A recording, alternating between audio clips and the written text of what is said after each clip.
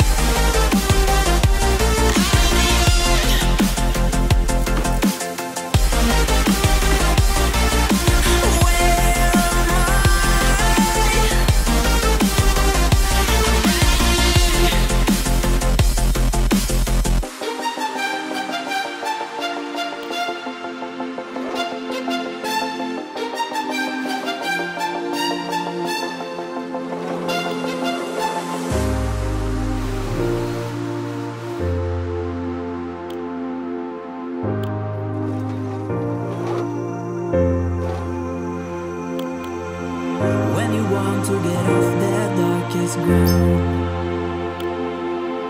But gravity pulls you straight down. Earth from a bird's eye view. You should grow feathers and see